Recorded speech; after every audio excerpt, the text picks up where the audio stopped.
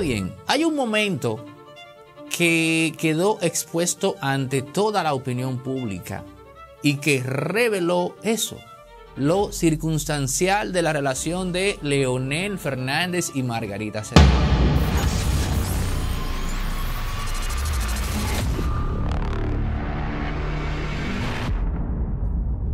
Lo que comienza mal, termina mal. Dice por ahí un refrán que de seguro usted ha escuchado y que le podemos aplicar perfectamente a Margarita Cedeño. Y tengo que irme a su relación con Leonel Fernández. Y aquí me veo obligado a entrar un poco en su vida privada. Aunque Margarita no lo quiera, su drama político, su trayectoria en el juego de poder estará marcada por su relación con Leonel. Pero aquí tenemos que, de una buena vez y por todas, hablar de algo que tiene que quedar totalmente claro. Su relación con Leonel Fernández siempre fue, oigan la palabra que voy a usar porque esto es clave, su relación con Leonel Fernández siempre fue circunstancial. Y lo fue desde el principio, porque todos sabemos cuál fue la razón que obligó a Leonel Fernández a tener que asumir ese compromiso. Y de ahí me devuelvo porque honestamente me es muy incómodo tocar fibras y teclas personales.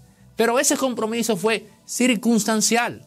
Y todo lo que terminó ocurriendo entre ellos dos hasta el desenlace en el 2019, un desenlace que a mucha gente le sorprendió, tiene que ver precisamente con esa palabra, circunstancial.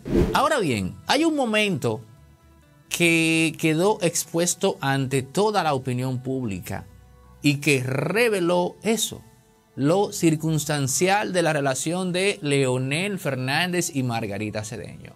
Y a ese momento yo le llamo el beso judaico de Margot. Oiga bien, a ese momento un servidor le llama el beso judaico de Margot. Vamos a verlo.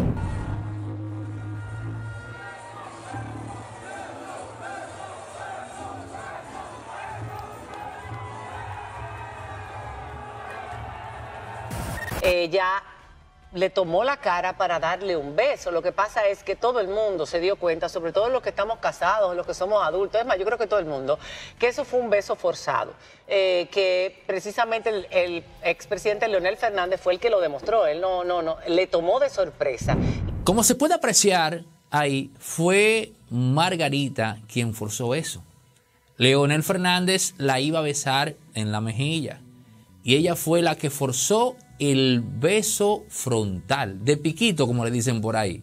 Un beso que la opinión pública no lo pasó por alto y que motivó a que María Cela Álvarez hiciera el siguiente comentario. Desleal. Eh, bien, señora vicepresidenta, que la conozco, es una persona encantadora, muy abierta, con mucha sensibilidad. Su corazón no debe ser tan privado en este momento. Su corazón debió haber sido público hace tiempo, porque la gente cuando escoge una autoridad, alguien que lo va a liderar, quiere, quiere, quiere sentir que esa persona es totalmente honesta en todos los sentidos. En la vida privada de una pareja nadie tiene que meterse, pero la vida de ustedes dos es una vida pública y las decisiones que ustedes han tomado de dividirse y separarse dentro de un mismo partido también es una decisión pública. Por ende, cualquier acto, cualquier reacción entre e, ellos dos como pareja se lee como una reacción de tipo público. Pero nosotros acá, en Impolíticamente Correcto, tenemos otra interpretación que tiene que ver con dos elementos y es la razón por la cual le aplica la etiqueta de el beso judaico de Margot. Como sabrán ustedes, en tiempos bíblicos, cuando se va a dar el proceso de la crucifixión, llega la traición de Judas. Pero como Judas le hace saber a los soldados romanos que tienen que capturar a un individuo X, porque no conocían el rostro de Jesús. Es ahí cuando se pacta el tema del beso. Aquel que, al que yo bese, ese es al que ustedes tienen que capturar, porque ese será Jesús de Nazaret. Pero cuando se da el momento en concreto, cuando llegan donde Jesús, él, muy brillante, no podía ser de otra forma, se ve venir las cosas Y por eso le dice a Judas aquella frase de, con un beso traicionas al Hijo del Hombre. Usando eso de metáfora y viendo las cosas en retrospectiva, se puede decir que el beso de Margarita sirvió para enviar la señal de traición. Aquel al que yo bese, en este caso evidentemente Leonel Fernández, será a quien tú, Danilo, vas a sacrificar. Ahora bien, yo quiero tocar una tecla que no se había tocado nunca en la historia política reciente de cara a Margarita Cedeño, Leonel Fernández, Gonzalo Castillo y el mismo Danilo Medina. Y es aquí donde se revela el descaro de Margarita Cedeño, que es lo que le da título a este capítulo. Miren, la ecuación política en el juego de poder de Margarita era la siguiente. Bueno, si gana Gonzalo Castillo, yo con toda seguridad voy a seguir siendo la vicepresidenta. Hasta ahí vamos bien. Eso es parte de lo que todo el mundo sabe. Pero la otra parte dice, bueno, si gana Leonel, yo voy a ser la primera dama. Y a partir de aquí es donde la cosa se pone un poco más compleja. Si gana Leonel, yo puedo ser la primera dama y también puedo seguir siendo la vicepresidenta. Pero en el peor de los casos, voy a seguir siendo la primera dama. Margarita iba por todo. Pero en la vida, siempre que usted trata de ser tan agayú, siempre que usted trata de acapararlo todo, siempre que usted actúa guiado por un espíritu heliogábalo, créame que las cosas terminan saliéndole mal. Y eso fue lo que ocurrió con Margarita Cedeño. Se quedó con las manos vacías. Margarita se quedó en el aire. Pero este panorama, que no es nada bueno para ella, tiene una redención. Sí, Margarita puede, o pudo más bien reivindicarse. Pero quiero culminar esta primera parte dándole por lo menos, eh, digamos, cierta razón a aquellos que a este día piensan que si ella no pudo ser leal a su esposo, caramba, lo será a una nación. Pero dije al principio, tomen en cuenta la palabra circunstancial. Y es que la relación de Leonel y Margarita fue circunstancial de principio a final. ¿Y qué significa esto? Significa, señores, que la razón por la cual Margarita pudo hacer lo que hizo frente a los ojos de todo el mundo tiene que ver directamente con eso. Era circunstancial porque siempre fue un asunto de interés. Y al final del día, como es lógico, primó más su interés como individuo que cualquier otra cosa.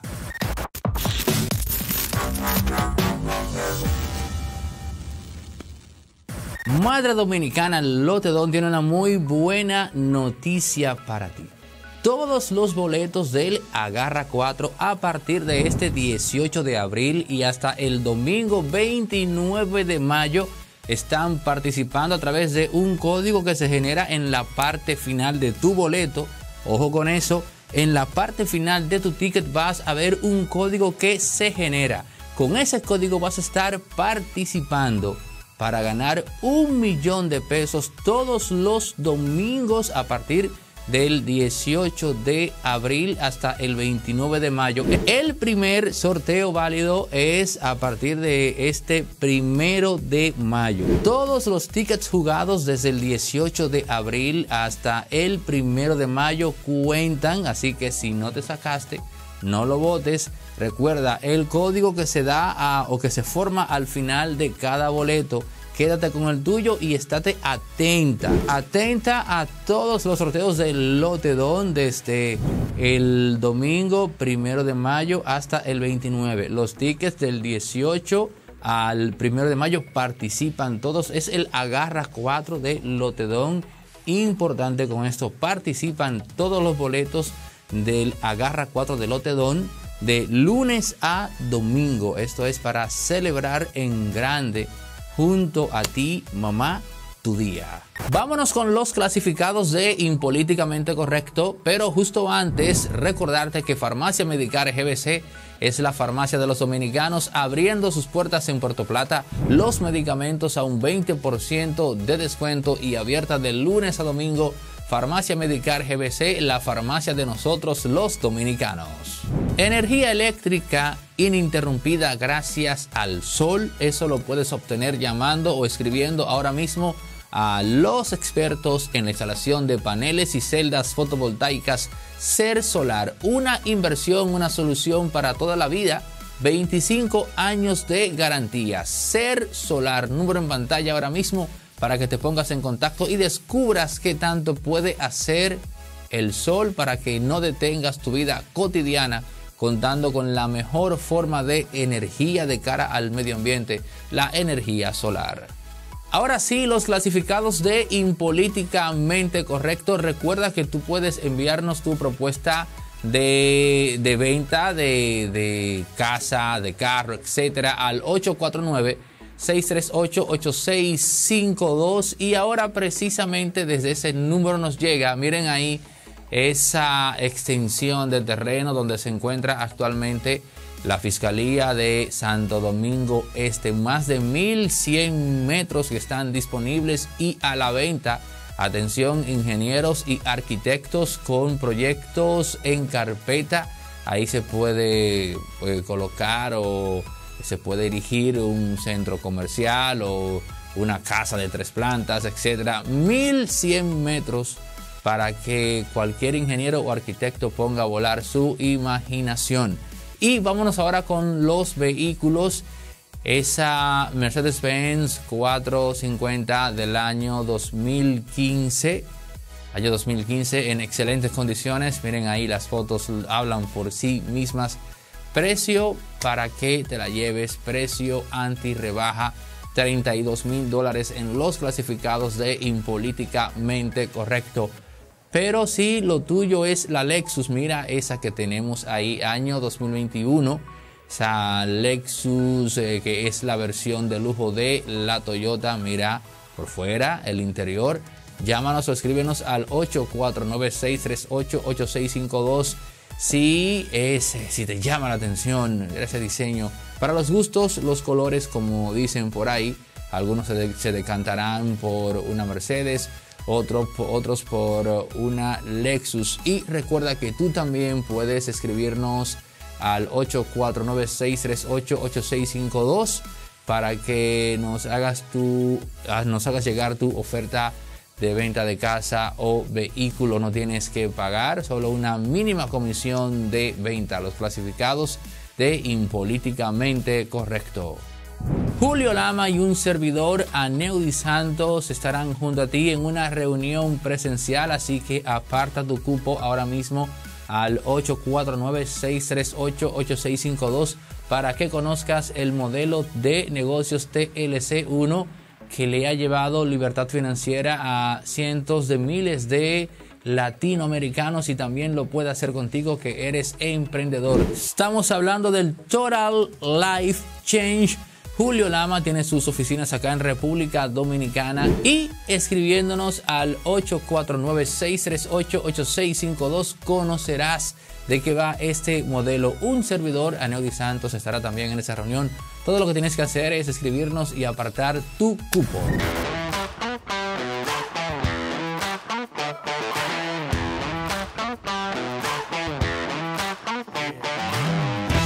¿Cómo pudo Margarita Cedeño librarse del estigma de la mujer que traicionó a su esposo? Estigma que no es ligero, estigma que no es superficial, por aquello de que si ella no le fue leal a él, le será leal a 11 millones de dominicanos. Ese planteamiento que a simple vista se puede ver como traído por los pelos, en verdad tiene asidero. Y es algo que le pesa a ella.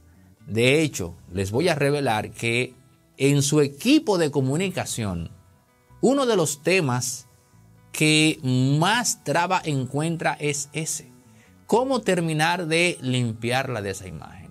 Porque eso le resta políticamente. Pero bueno, dicho esto, ¿cómo pudo Margarita Cedeño reivindicarse. Señores, si ella lo que quería era ser vicepresidenta y primera dama, si ese era su objetivo, ella podía perfectamente, una vez Gonzalo Castillo se convierte en el candidato que va a adversar a su esposo, ella podía renunciar al PLD e irse con Leonel Fernández. A ella nadie la podía destituir de su cargo de vicepresidenta. Ella llega ahí con, el, con este, en este caso Danilo Medina, y Danilo por decreto no puede quitarla de ese cargo. Pero entonces, si ella se va con su esposo, sigue siendo vicepresidenta y tiene la oportunidad en la fuerza del pueblo de ser la primera dama en caso de, y también quizás de seguir siendo la vicepresidenta. Pero ¿por qué Margarita Cedeño no hizo eso? Primero porque con toda seguridad nunca le pasó por la cabeza. Y puedo afirmar que eso nunca le pasó por la cabeza por aquella revelación que hizo ella de que Danilo Medina, según dijo ella, que Danilo le dijo, que él habló con Leonel y le propuso que para salvar esa división, Margarita Cedeño fuese la candidata del partido. Ella le creyó eso. Y se lo creyó tanto que nunca cuestionó la credibilidad de eso con algo tan básico como lo siguiente. Bueno, pero Danilo, pero si él no quiso, ¿por qué, por qué tú pusiste a Gonzalo? Porque si tú querías que fuera yo, poco o nada importaba que al final del día Leonel dijese que no. Porque si tú me propusiste a mí, a Leonel, para salvar la división, era porque tú tenías la intención de ponerme a mí como candidata. ¿Y por qué echar para atrás porque Leonel diga que no? Con esa simple pregunta se desmontaba eso. No había forma humana en la cual Danilo Medina respondiera a eso. Y eso evidenció, eso reflejó lo que dije al principio. Que como era circunstancial, como era un asunto de interés, el interés de ella al final del día era lucirse ella, era catapultarse ella, lo cual, debo aclarar, no está mal. Yo no estoy juzgando esto desde un punto de vista moral. Simplemente estoy señalando todos los puntos dentro de la conducta de ella, hasta cierto punto la de Danilo y tal vez la de Gonzalo. Yo no estoy criticando que Margarita Cedeño haya pensado en ella. Ahora bien, en el momento que ella trata de justificar que fue una esposa leal, ahí es donde comienza la disrupción, ahí es donde se da la disonancia cognitiva. Ambos relatos no son compatibles el uno con el otro.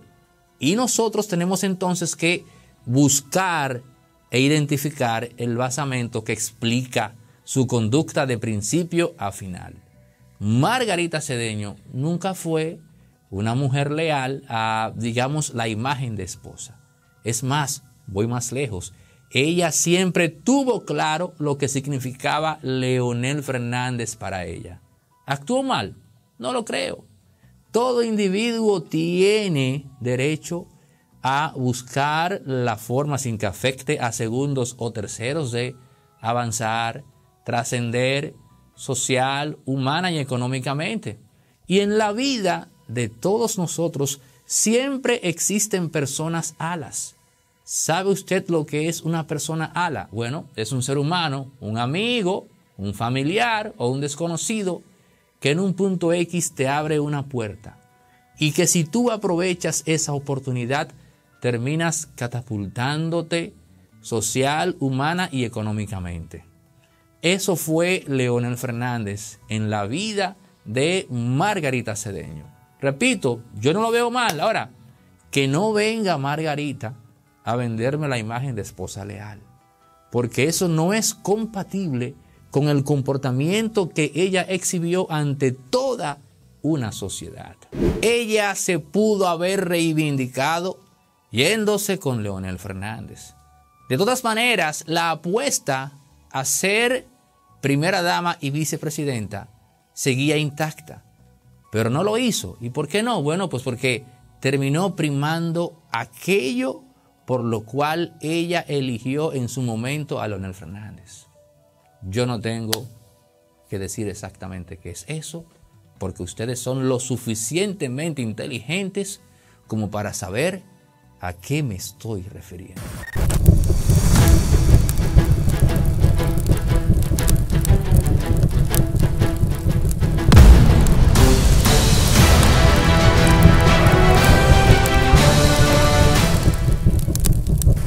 Cuando yo venía esta mañana, hace, hace un ratito, para acá, para el estudio, a, grabar estos cortes, eh, venía con unos temas específicos, pero cambié.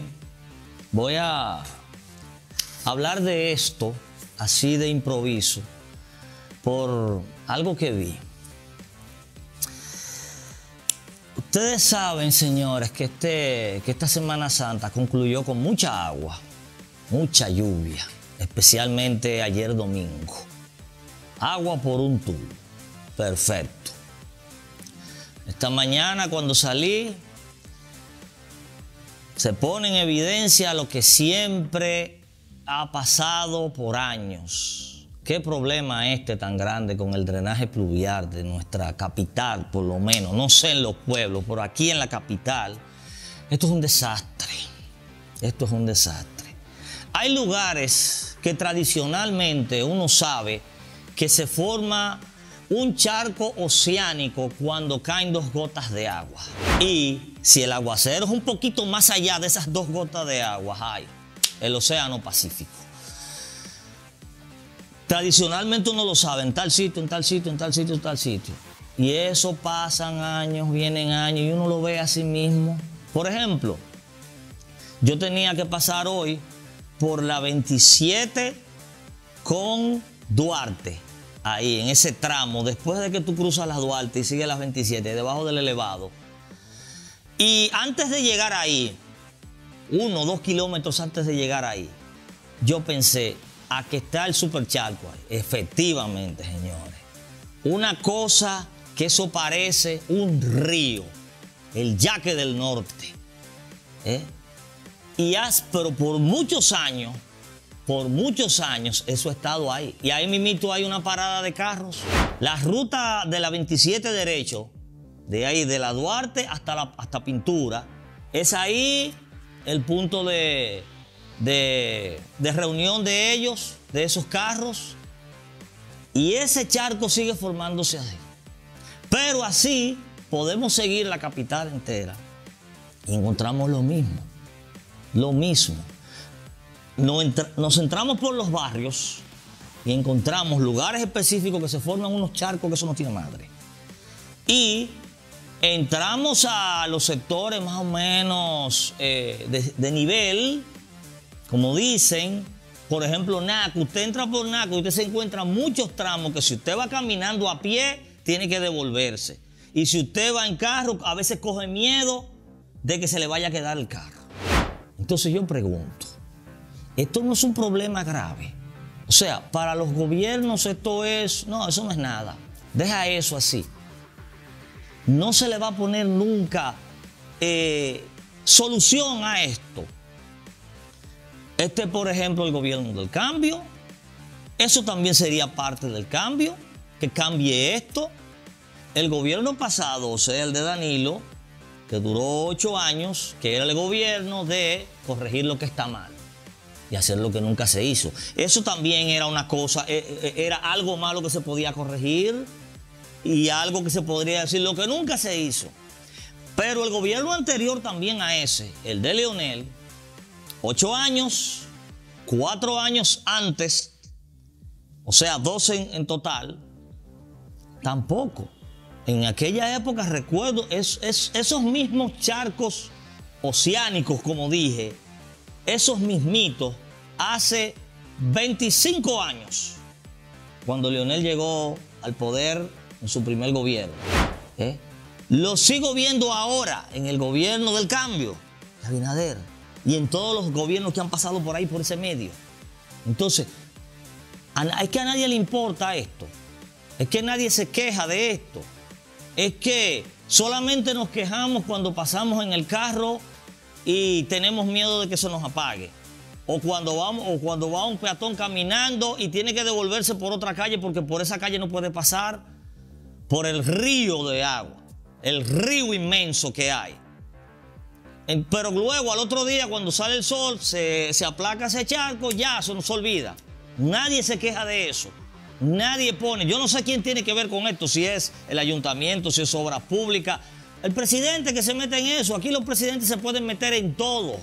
Los presidentes de este país tienen la potestad de meter su mano donde ellos les dé su, real, su regalada gana, como decía el chavo. Porque este es un país muy presidencialista, no como en Estados Unidos, que los presidentes no pueden eh, eh, eh, inmiscuirse en ciertas cosas. Aquí no. Entonces, si los ayuntamientos, si obras públicas no resuelven este problema, entonces los presidentes, que, el que sea de turno, que se suba ahí, que meta su mano y resuelva este maldito problema del drenaje pluvial en esta capital.